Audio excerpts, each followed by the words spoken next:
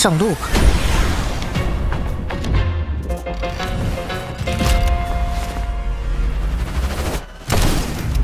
意料之中的结果，不如说，这就是我的日常。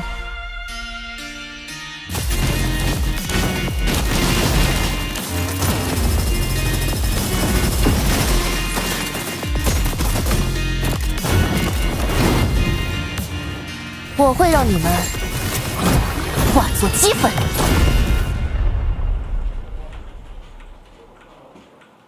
灯给我的印象比较像个黑道特工那种吧。设计的时候，我们就想用特殊剪裁的黑道制服来搭配黑丝，用黑色作为它的主色调，那样也会比较酷。作为七术中唯一一个仅凭肉身与道具就能与影对抗的成员，叫她一声姐一点也不为过。灯现在的名字来源于与影在对抗的专业组织灯组织，而在组织覆灭后，他不仅继承了组织的名号，还内化了闭嘴做事的组织文化。毕竟高冷的人看上去比话痨更可靠嘛。因为他的性格比较较真，负伤也要坚持完成任务，所以身上也会有一些绷带和破损的设计元素。为了表现杀手的压迫感，我们还为他做了一些细节的设计。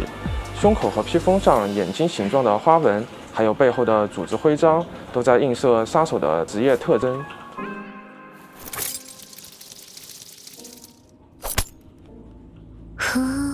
当灯进入战斗准备时，头发和眼睛会发出绚烂的光芒，犹如一盏黑夜中的明灯。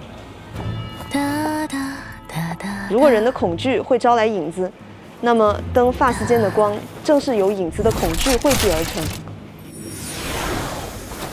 灯擅长使用各种枪械对敌方进行打击，它的战斗概念是残影枪术和弹药规划。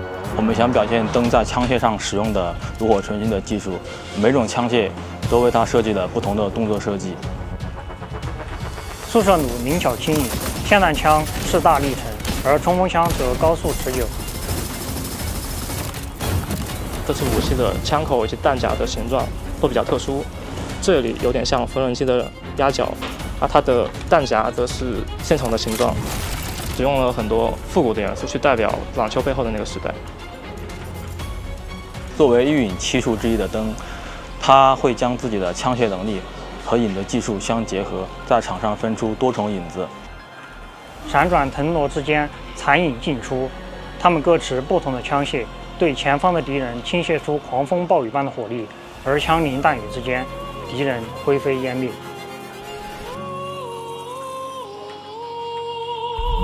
靠你接应！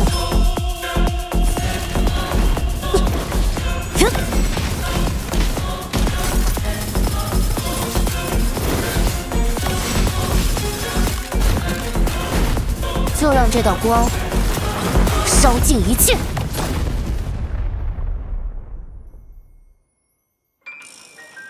不过帅归帅，这种姿态也为灯带来了不少困扰。比如在需要隐秘行动的场合里，灯时常会因为战意昂扬不小心发光，让敌人有所察觉，最终令此战升级为正面对抗。他也因此被路人当作不屑于使用小手段行事而受到敬重。当然，他本人对此毫不知情。如果让他听到了相关讨论，可能会被追杀吧。